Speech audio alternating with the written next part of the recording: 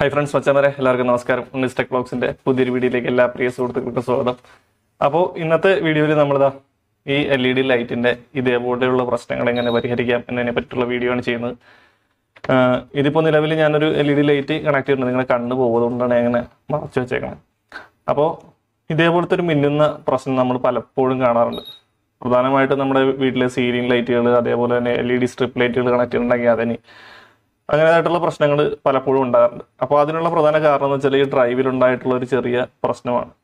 നമ്മുടെ ഇതേപോലുള്ള L E D light fittings ഒക്കെ ആണെന്നുണ്ടെങ്കിൽ നമുക്ക് അതൊരു അമ്പത് രൂപ അറുപത് രൂപ കൊടുത്താൽ ഈ ഡ്രൈവ് നമുക്ക് മേടിക്കാൻ കിട്ടും. പുതിയ ഡ്രൈവ് വാങ്ങിച്ചിടുകയും ചെയ്യാം. പക്ഷേ ഇതേപോലുള്ള എൽ ഇ ഡി സ്ട്രിപ്പിന്റെ ഡ്രൈവ് വരുമ്പോൾ ഇത് എട്ടാമ്പിയറിന്റെ ഒരു ഡ്രൈവാണ്. ഈ എട്ടാമ്പിയറിന്റെ ഡ്രൈവിന് നമുക്കിപ്പോൾ ഒരു എണ്ണൂറ് രൂപ അടുത്ത് കോസ്റ്റ് വരും. അത് ഇതേപോലുള്ള കംപ്ലൈന്റ് ഉണ്ടെങ്കിൽ നമുക്കത് സർവീസ് എടുക്കാവുന്നേ ഉള്ളൂ. കാരണം എന്ന് വെച്ചാൽ ഇത് ചെറിയ ഒരു പ്രശ്നം കൊണ്ടിട്ടാണ് ഇങ്ങനെ സംഭവിക്കുന്നത്. അപ്പോൾ ഈ ഒരു കംപ്ലൈന്റ് നമുക്കൊരു പത്ത് മുപ്പത് രൂപ ചിലവിൽ സിമ്പിളായിട്ട് തന്നെ ഈ കംപ്ലൈന്റ് മാറ്റിയെടുക്കാനായിട്ട് സാധിക്കും. ഇതേപോലെയുള്ള ഡ്രൈവുകൾ വീണ്ടും നമുക്ക് യൂസ് ചെയ്യാനായിട്ട് സാധിക്കും. അപ്പോൾ ആ കംപ്ലൈന്റ് എങ്ങനെ പരിഹരിക്കാമെന്നാണ് ഇന്നത്തെ വീഡിയോയിലൂടെ മനസ്സിലാക്കുന്നത്. അതോടൊപ്പം ഇതേപോലുള്ള കംപ്ലൈന്റ് ഉണ്ടാകാനുള്ള സാഹചര്യവും കൂടി വിശദമായിക്കൊണ്ട് നമുക്ക് ഈ വീഡിയോയിലേക്ക് കിടക്കാം. അപ്പോൾ വീഡിയോസ് ഇഷ്ടമാണെന്നുണ്ടെങ്കിൽ തീർച്ചയായിട്ടും ലൈക്ക് ചെയ്യുക. നിങ്ങളുടെ അഭിപ്രായങ്ങളും നിർദ്ദേശങ്ങളും എല്ലാം കമൻസായിട്ട് രേഖപ്പെടുത്തുക. ഒപ്പം നമ്മുടെ ചാനൽ സബ്സ്ക്രൈബ് ചെയ്യാൻ മറക്കരുത്. അപ്പം തൊട്ടടുത്തുള്ള ബെല്ലേക്കും കൂടി അമർത്തുക. അപ്പോൾ ഞാൻ അപ്ലോഡ് ചെയ്യുന്ന വ്യത്യസ്തമായിട്ടുള്ള ഇതേപോലുള്ള വീഡിയോസ് നിങ്ങൾക്ക് നോട്ടിഫിക്കേഷൻ ആയിട്ട് ലഭിക്കും. അപ്പോൾ എന്തായാലും നമുക്ക് വീഡിയോയിലേക്ക് കിടക്കും. അപ്പോൾ ചമ്മൻ നമ്മുടെ ഈ ഡ്രൈവ് നമുക്കൊന്ന് അഴിക്കാം. അതിന് മുന്നോടിയായിട്ട് ഞാൻ വേറൊരു കാര്യം പരിചയപ്പെടുത്തി തന്നിട്ട് നമുക്ക് വീഡിയോയിലേക്ക് പോകും. അപ്പോൾ ഈ ഡ്രൈവിന്റെ ഉള്ളിലുള്ള കേസ് ഇതാ ഈ ഒരു ടൈപ്പ് പി സി ബി ബോർഡാണ് അപ്പോൾ ഇതൊന്ന് നമുക്ക് ഡീറ്റെയിൽ ആയിട്ട് പരിശോധനയ്ക്ക് ശേഷം ഈ ഇത് നമുക്ക് അഴിക്കാം. എന്താണ് പ്രശ്നം എന്നുള്ളത് ഇതിന്റെ അകത്തൂടെ തന്നെ നമുക്ക് കൃത്യമായിട്ട് പറഞ്ഞു തരാനായിട്ട് സാധിക്കും. അപ്പോൾ നിലവിൽ ഇതാ നമ്മൾ ഇൻപുട്ട് കൊടുക്കുന്ന സൈഡ് ഇവിടെയാണ്. ഇവിടെയാണ് നമ്മൾ ടു തേർട്ടി വോൾട്ട് ഇൻപുട്ട് കൊടുക്കുന്ന സെക്ഷൻ വരുന്നത്. ഇവിടെ നമ്മൾ ഔട്ട്പുട്ട് എടുക്കുന്ന സെക്ഷനാണ് ഇവിടെ എർത്ത് ഫേസ് ന്യൂട്രൽ ഇവിടെ നിന്ന് നമ്മൾ D C twelve volt out എടുക്കുന്നു. അപ്പോൾ ഇതിന്റെ ഒരു പ്രധാനപ്പെട്ട ഭാഗങ്ങൾ നമുക്കൊന്ന് ആദ്യം നോക്കാം. ഇതിന്റെ ഈ പ്രധാനപ്പെട്ട സെക്ഷൻ എന്ന് പറയുമ്പോൾ ഇൻപുട്ട് കൊടുക്കുന്നു. ഇവിടെ നിന്നാണ് നമ്മളൊരു ഡി സി സെക്ഷനായിട്ട് മാറുന്നത്. അതായത് നമ്മൾ എ സി ഇൻപുട്ട് കൊടുത്തു.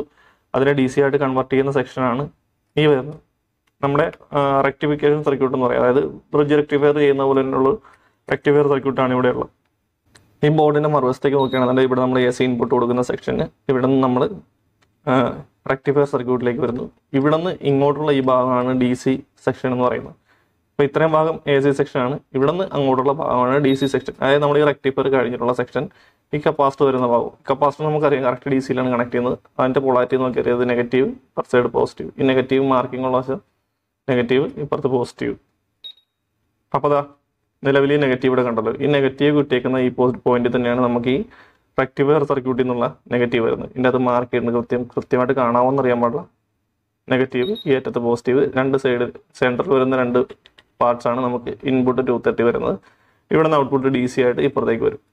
ഇവിടെ നമ്മളൊരു റെക്ടിഫിക്കേഷൻ കഴിഞ്ഞിട്ട് വരുന്ന ഒരു കപ്പാസിറ്ററിന്റെ രണ്ട് ലീഡ്സ് ആണ് ഈ കാണുന്നത്. അതിന്റെ നെഗറ്റീവ് ഇവിടെ പോസിറ്റീവ് ഇപ്പുറത്ത്. നമുക്ക് കറക്റ്റ് അറിയാം. അപ്പോൾ അപ്പുറത്തേക്ക് റെക്ടിഫയർ കഴിഞ്ഞിട്ട് വരുന്ന വോൾട്ടേജ് നമുക്ക് അറിയാൻ പറ്റും കണ്ട? നാനൂറ്റി അമ്പത് വോൾട്ടിന്റെ ഒരു കപ്പാസിറ്റർ ആണ് ചെയ്യുന്നത് എൺപത്തിരണ്ട് യു എഫ് അത് നമ്മൾ ഇരുന്നൂറ്റി മുപ്പത് വോൾട്ടിനെ നമ്മൾ റെക്ടിഫൈ ചെയ്ത് വരുമ്പോൾ അതിന് മേളിലേക്ക് വരും ഏകദേശം ഒരു മുന്നൂറ് വോൾട്ട് റേഞ്ചിലേക്ക് ഇവിടത്തേക്ക് മാറും. അതായത് നമ്മൾ എ സിന്ന് ഡി സിയിലേക്ക് കൺവേർട്ട് ചെയ്യുമ്പോൾ വോൾട്ടേജിൽ ഇത്തിരി ഹൈ ആയിട്ട് നിൽക്കത്തുള്ളൂ ഇത്തിരി കൂടിയ വോൾട്ടേജ് ആയിരിക്കും വരും ഇനി ഇവിടെ നിങ്ങളുടെ ഡി സി സെക്ഷൻ ആണ്. അതേപോലെ തന്നെ ട്രാൻസിസ്റ്ററും കപ്പാസിറ്ററും കാര്യങ്ങളൊക്കെ കഴിഞ്ഞ് നമ്മൾ ഔട്ടിലേക്ക് വരുന്ന ട്വൽവ് വോൾട്ട് വരുന്ന സെക്ഷൻ എന്ന് പറയുന്നത് ഈ ഭാഗത്താണ്. അപ്പോൾ നമ്മൾ നേരത്തെ പറഞ്ഞു ആ കംപ്ലൈന്റ് നമ്മൾ കണ്ടു. ട്വൽവ് വോൾട്ട് വരുന്നത് കൊണ്ട് തന്നെയാണ് അത് ലൈറ്റ് തെളിയുന്നത്. പക്ഷേ എന്തോ ഒരു ലീക്കേജ് അവിടെ സംഭവിക്കുന്നത് കൊണ്ടിട്ടാണ് ആ ലൈറ്റ് ബ്ലിങ്ക് ചെയ്യാനുള്ള കാരണം വെച്ചാൽ അതിൽ പ്രധാനമായിട്ടും വരുന്ന പ്രശ്നം വരുന്നത് നമ്മുടെ ഈ ഒരു കപ്പാസിറ്റർ അതായത് ഡി സി സെക്ഷൻ ട്വൽവ് വോൾട്ടേക്ക് മാറി കഴിയുമ്പോഴുള്ള ഫിൽറ്ററിങ് കപ്പാസിറ്റർ ആണിത്.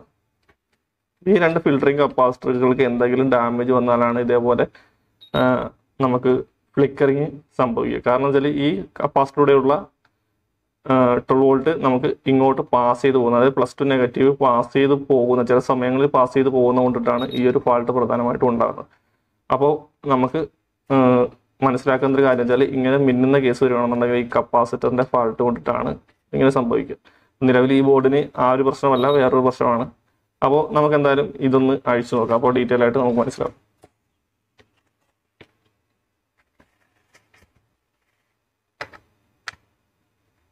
പിന്നെ പ്രധാനപ്പെട്ട ഒരു കാര്യം വെച്ചാൽ ഇലക്ട്രിക്കൽ പരമായിട്ട് അറിയാൻ പാടില്ലാത്ത ആൾക്കാരൊന്നും ഇതേപോലുള്ള സാധനങ്ങൾ അഴിച്ച് നോക്കാതിരിക്കുക എന്നുള്ള കാര്യം പ്രത്യേകം പറഞ്ഞേക്കാം. വേറെ ഒന്നുമല്ല കഴിഞ്ഞ ദിവസം ഞാൻ വീഡിയോ അപ്ലോഡ് ചെയ്തപ്പോൾ പല ആൾക്കാരും എന്നെ വിളിച്ച് അത് അവർ സ്വയമായിട്ട് റിപ്പയർ ചെയ്യും കാര്യങ്ങളൊക്കെ ശ്രമിച്ച് അവസാനം നമുക്കൊരു പ്രശ്നം ഉണ്ടായത്. അതുകൊണ്ടാണ് ചില കാര്യങ്ങളിൽ ബുദ്ധിമുട്ടുണ്ട്. ചില ആൾക്കാർ നമുക്കൊരു ടെക്നിക്കലായിട്ട് നോളജ് ഇല്ലാത്ത ആൾക്കാർ വരെ അതിന്റെ അകത്ത് കയറി ഇടപെടുന്നത് കൊണ്ടുള്ള ഒരു ചെറിയ പ്രശ്നമാണ് അപ്പോൾ നമ്മളിത് അഴിച്ചെടുത്തിട്ടുണ്ട്. അപ്പോൾ ഇതിലേക്ക് നോക്കിയാണെങ്കിൽ കാണാം. നമ്മൾ നേരത്തെ കണ്ട ബോർഡ് പോലെ തന്നെ. ഏകദേശം എല്ലാ ബോർഡുകളിലും ഇതേപോലുള്ള സെയിം സെറ്റപ്പ് തന്നെ ആയിരിക്കും അപ്പോൾ കണ്ട ഇൻപുട്ട് നമ്മൾ ടൂത്ത് സെറ്റ് കൊടുക്കുന്ന സ്ഥലം. റെക്ടിഫിക്കേഷൻസ് ഇവിടെ ഡയോഡാണ് ഇതിന്റെ അകത്ത് യൂസ് ചെയ്തിട്ടുള്ളത്. മറ്റതിൽ വേറെ ടൈപ്പാണ് കണ്ട ഇതിൽ വേറെ ടൈപ്പാണ് പക്ഷേ ഇതിൽ ഈ ബോർഡിൽ വന്നിട്ടുണ്ട് ഡയോഡ് പക്ഷേ ഇതിന്റെ പ്രൊസീജിയർ എല്ലാം സെയിം തന്നെയാണ്. അത് കഴിഞ്ഞിട്ട് ഒരു ഫിൽറ്ററിംഗ് കപ്പാസിറ്റർ വന്നിട്ടുണ്ട് ഈ സെക്ഷൻ കഴിഞ്ഞു. ഔട്ടിലേക്ക് വരുമ്പോൾ ഇതാ ഇതാണ് ഈ ഡി സി സെക്ഷന്റെ ട്വൽവ് വോൾട്ട് സെക്ഷന്റെ ഫിൽറ്ററിംഗ് കപ്പാസിറ്റർ വരുന്നത് ഈ ഫിൽറ്ററിങ് കപ്പാസിറ്റി നമുക്ക് ടോപ്പേഴ്സ് നോക്കി അറിയാം. അതേപോലെ പൊട്ടി ഇങ്ങനെ വട്ടം പൊട്ടിയ അവസ്ഥ ഇതായിരിക്കും കോമൺ ആയിട്ട് എല്ലായിടത്തും സംഭവിക്കുക. കാരണം വോൾട്ടേജിൽ വേരിയേഷൻ ഉണ്ടാകുന്ന സമയത്താണ് ഈ ഒരു പൊട്ടലുണ്ടാകുന്നത് അതായത് ഇൻപുട്ട് വോൾട്ട് എന്തെങ്കിലും കാരണം കൊണ്ട് കൂടി നമ്മുടെ ഔട്ട്പുട്ട് സെക്ഷനിൽ കപ്പാസിറ്റർ താങ്ങാവുന്നതിന് അധികം വോൾട്ടിലേക്ക് വരുമ്പോഴാണ് ഈ കപ്പാസിറ്റർ ബേൺ ആയി പോകുന്നത്. അപ്പോൾ ഇങ്ങനെ ബേൺ ആകുന്ന സമയത്ത് നമുക്ക് നടുക്ക് പൊട്ടുന്നൊരു സാഹചര്യം മിക്കവാറും എല്ലാ കപ്പാസിറ്ററും ഉണ്ടാകും അപ്പോൾ ഞാൻ പറഞ്ഞതുപോലെ തന്നെ ഈ ഒരു മൂന്ന് കപ്പാസിറ്ററുകൾ നമുക്കിവിടെ നിന്ന് അഴിച്ച് മാറ്റിയിട്ട് പുതിയ ഇത് ഇതേപോലുള്ള കപ്പാസിറ്റർ സെയിം വാല്യൂ ഇതിപ്പോൾ കണ്ടോ പതിനാറ് വോൾട്ടാണ് ഇതിനകത്ത് കിടക്കുന്ന കപ്പാസിറ്റർ വരുന്നത്. അതായത് നമുക്ക് ട്വൽവ് വോൾട്ടാണ് സപ്ലൈ ഉള്ളത് പതിനാറ് വോൾട്ടാണ് പക്ഷേ ഇൻപുട്ടിൽ എന്തെങ്കിലും വേരിയേഷൻ ഉണ്ടാവുകയാണെന്നുണ്ടെങ്കിൽ ഔട്ട്പുട്ടിൽ അതേപോലുള്ള വേരിയേഷൻ തീർച്ചയായിട്ടും ഉണ്ടാവും. അപ്പോൾ ഇൻപുട്ടിലെ വോൾട്ടേജ് കൂടിയാൽ ഔട്ട്പുട്ടിലും വോൾട്ടേജ് കൂടും. ആ കൂടുന്നതുകൊണ്ട് ഈ പതിനാറ് വോൾട്ട് എന്നുള്ളത് അതിന് മേളിലേക്ക് പോയി കഴിഞ്ഞാൽ ഈ കപ്പാസിറ്റർ അതൊക്കെ പൊട്ടിപ്പോകാനുള്ള സാധ്യത കൂടുതലാണ്. അപ്പോൾ അങ്ങനെ പൊട്ടിയത് കൊണ്ടിട്ടാണ് ഈ ഒരു പ്രശ്നം ഉണ്ടായിട്ടുള്ളത്. അപ്പോൾ നമ്മൾ ഈ കപ്പാസിറ്റർ ഇവിടുന്ന് റിമൂവ് ചെയ്തതിന് ശേഷം പുതിയ അതേ സെയിം വാല്യൂടെ പാസ്വേഡ് വേണമെന്നുണ്ടെങ്കിൽ നമുക്ക് ഈ പ്രശ്നം സോൾവ് ചെയ്യാനായിട്ട് സാധിക്കും. എന്തായാലും അടുത്തുള്ള വീഡിയോകളിൽ നമ്മൾ ഇതേപോലുള്ള കുറച്ച് റിപ്പയറിങ് കാര്യങ്ങളൊക്കെ കാണിക്കുന്നുണ്ട്. ആ കൂട്ടത്തിൽ ഇതിന്റെ റിപ്പയറിങ് കാണിച്ചു തരാം. കാരണം സോൾഡറിങ് ഞാനിപ്പോൾ എന്റെ കയ്യിലില്ല. പിന്നെ ഇത് അവിടെ ഡീറ്റെയിൽ ആയിട്ട് പറയണമെന്ന് ഇവിടെ ഒരു കൺട്രോൾ ഉണ്ട് ഒരു റീസെറ്റ് നമുക്കിത് അഡ്ജസ്റ്റ് ചെയ്യുവാണെന്നുണ്ടെങ്കിൽ നമുക്ക് ഇവിടുത്തെ വോൾട്ടേജ് എത്ര വേണമെന്നുള്ളത് കൃത്യമായിട്ട് ഇവിടെ ഒന്ന് സെറ്റ് ചെയ്യാൻ പറ്റും. നമ്മളിപ്പോൾ ഒരു ട്വൽവ് വോൾട്ട് കൊടുക്കുകയാണെന്നുണ്ടെങ്കിൽ ചില സാഹചര്യത്തിൽ നമുക്ക് ഇത്തിരി കൂടി വോൾട്ട് വേണം. അതായത് നമ്മൾ ലോഡ് കൂട്ടി കഴിയുമ്പോൾ ചിലപ്പോൾ വോൾട്ടേജ് കുറഞ്ഞു പോകാൻ സാധ്യതയുണ്ട്. അപ്പോൾ ആ സമയത്ത് ലോഡിൽ നിർത്തിക്കൊണ്ട് തന്നെ തിരിച്ച് നമുക്കിത് ട്വൽവ് വോൾട്ടിലേക്ക് സെറ്റ് ചെയ്യാനായിട്ട് സാധിക്കുകയും ചെയ്യും. അപ്പോൾ എന്തായാലും വീഡിയോസ് ഇഷ്ടമായിട്ടൊന്ന് വിശ്വസിക്കുന്നു. ഡീറ്റെയിൽ ആയിട്ട് നമുക്ക് അടുത്തൊരു വീഡിയോയിൽ ഫുള്ളായിട്ട് കാണാം.